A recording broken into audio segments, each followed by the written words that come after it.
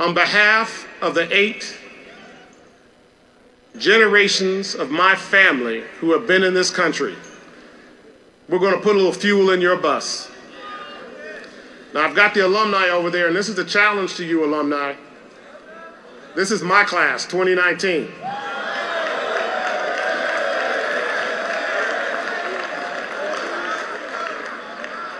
And my family is making a grant to eliminate their student loans.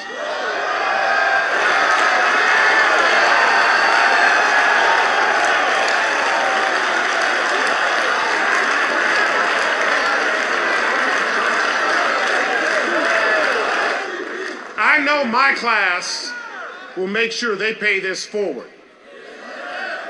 And I want my class to look at these alumnus, these beautiful Morehouse brothers, and let's make sure every class has the same opportunity going forward.